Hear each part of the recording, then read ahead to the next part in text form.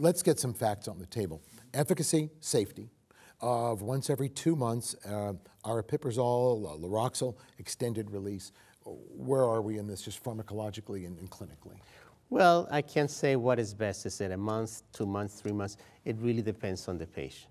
For some patients, you actually want to see them monthly. For others, you can see them every two months, every three months. So it depends on what the patient needs are. If you wanted to go once every two months, what are the most common side effects that you see? Well, th- there, there wouldn't be any different side effects if it's once a month or uh, every two months.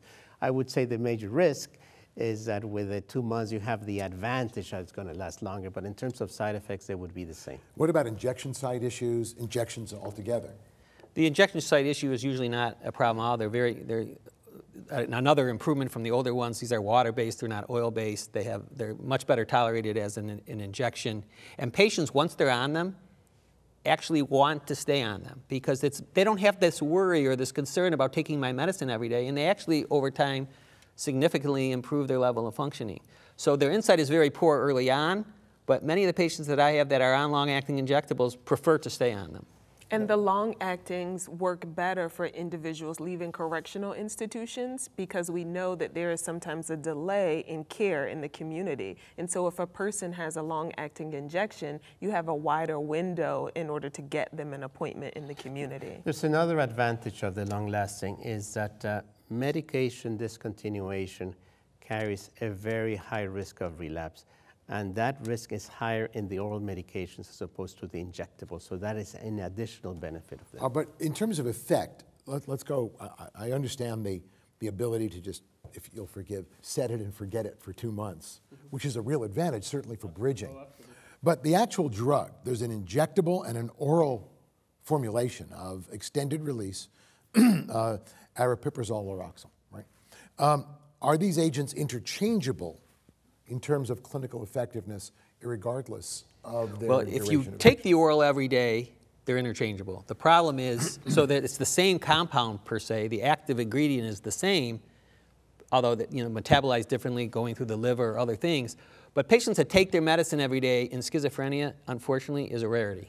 Right. Or they don't take it at the same time and they skip when, a day. Uh, when you look at clinical trials where they compare uh, uh, by mouth versus an injectable, and you know that the patient is taking it, the efficacy is exactly the same. There is no difference in terms okay. of the efficacy. But you know, it strikes me when, when you look at patients taking it every day, that implies it's a study. And study patients are notoriously of course. Absolutely. That's why because everybody's all over them. Absolutely. Absolutely. Out in the real world, nobody's in So you have to do real world studies, and you can look at patients before and after a newer agent long-acting injectable, and you can certainly see there's much data that they do better once they're on the long-acting injectable versus when they're prescribed oral. You can't really because use studies for that. Is there a typical yeah. patient who's, uh, if you will, the, the propositus for the injectables? Is there some patient with a significant mental illness with schizophrenia who is clearly the candidate for the injectables, whatever the cost? actually, as you just said, the candidate is, is the patient with schizophrenia. Because That's the it? majority of patients with schizophrenia are not adherent to their medication regimen. It would be more so who is not a candidate, and that's pretty rare to find someone that's not a candidate. Actually, patients with bipolar disorder are, are really very good candidates for the reason that bipolar patients, patients with bipolar disorder, are very non adherent. Uh, in the past, we used to think that the best patients uh, or the best candidates were those who had multiple episodes, patients who had been chronic for a long time. And actually, that is not the case. Really? Uh, frequently, a patient is non adherent when the patient first become ill, first episode. It is act- that is the time that they're most non adherent.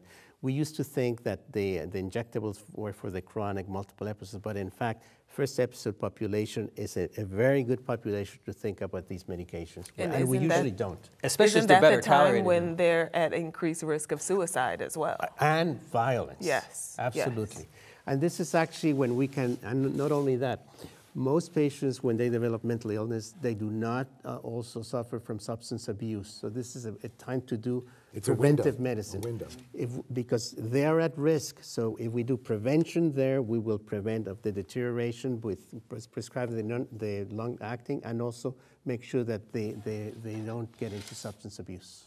Can you, I'm sorry, go ahead, you wanted to say No, something? you know, we have a, a, program, it's the only one in the country. It takes people who otherwise would have gone to a competency restoration facility and instead puts them in a program to help reintegrate them back into the community. And they're using a long-acting injectable. And we're finding that the patients prefer it, that their compliance with our program is much improved, and their rearrest rate is significantly reduced. And so for us, we have found it to be rather beneficial. I do concern myself with some of the side effects, and it's something that definitely has to be Well, we'll monitored. But at the same time, in terms of helping keeping people out of our system, it has been very effective. Can you, can you adjust this stuff? Is it a one-size-fits-all dose and, and dosing frequency, or can you tailor it? Well, there's differences among the medications. You mentioned aripiprazole lauroxil has a variety of dosing available. It I guess that's what I was getting at. And it has a variety of dosing intervals. So you suggested, you know, maybe for some patients you want once a month. Maybe some patients you want every six weeks. Maybe some patients want every two months. And you have that ability with that that medication.